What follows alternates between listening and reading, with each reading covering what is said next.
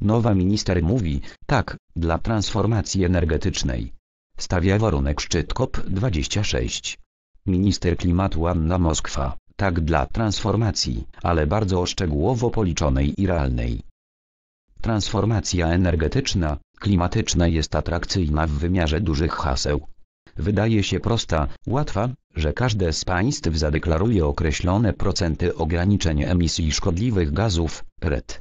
Natomiast chwilę później te procenty przekładają się na poszczególne przedsiębiorstwa i obywateli.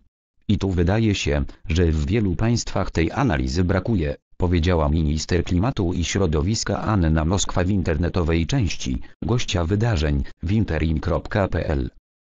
Minister przyznała, że wybiera się do Glasgow na 26. Szczyt klimatyczny ONZ COP26. Będę tam w poniedziałek, wtorek i środę, na części ministerialnej. Był już premier, ja uzupełnię tę polską delegację. Z perspektywy COP-u nie widzimy w tym roku jakichś spektakularnych odkryć czy deklaracji, które zamierzamy podjąć. Dla nas ważne były Katowice, COP, podczas którego wprowadziliśmy pojęcie sprawiedliwej transformacji, stwierdziła. Minister Moskwa, sukces tego COP-u, jest sukcesem poprzedniego wyraziła zadowolenie, że w tym roku w Glasgow Wielka Brytania podjęła hasło i została przyjęta deklaracja na rzecz sprawiedliwej transformacji. My jesteśmy też jej częścią. Wydaje się, że jeden z głównych elementów, które przyjęliśmy jako założenie naszego COP-u, jest kontynuowany. Sukces tego COP-u jest sukcesem poprzedniego, oceniła.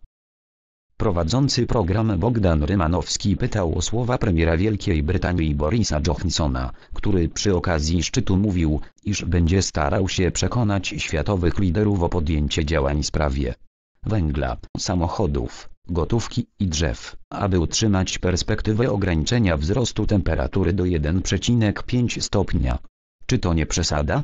Przeciętny mieszkaniec Francji, Belgii i Polski zastanawia się, jak to odbije się na jego życiu, czy będziemy musieli zrezygnować z wielu przyzwyczajeń, z dotychczasowego trybu życia? Zapytał dziennikarz. Transformacja energetyczna, klimatyczna jest atrakcyjna w wymiarze dużych haseł.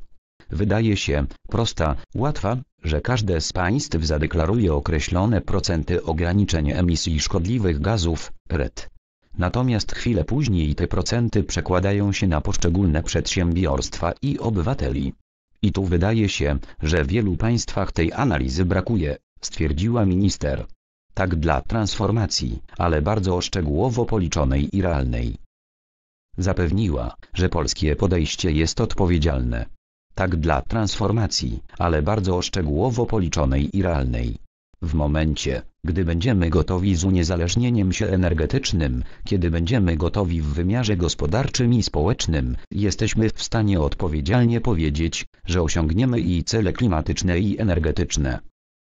Pytana, czy Polska powinna nacisnąć na hamulec, jeśli chodzi o szybkość transformacji energetycznej, odparła. Pytanie czy to jest hamulec, czy może kwestia sposobu przeprowadzenia transformacji. Może się okazać, że nasze podejście wcale nie będzie prowadziło do tej daty transformacji o wiele później. Może się nawet okazać, że to będzie ta sama data. To o czym mówimy, to żeby to wszystko liczyć w konsekwencjach nie tylko haseł, ale wpływu na konkretnego obywatela i możliwości poszczególnych państw i sektorów. Odnosząc się do życia w Polsce za 10 lat, wskazała, że będzie on się różnić od dzisiejszego, ale nie tylko ze względu na kierunki dużej polityki klimatycznej, ale i dlatego, że coraz bardziej zmieniamy się jako obywatele. Lubimy oddychać czystym powietrzem, coraz bardziej przekonujemy się do zielonych technologii. Kiedyś fotowoltaika była rodzajem marzenia, teraz w wielu wsiach staje się codziennością. Coraz częściej mówimy, że woda jest zasobem ograniczonym i coraz bardziej społeczeństwo to rozumie, podsumowała.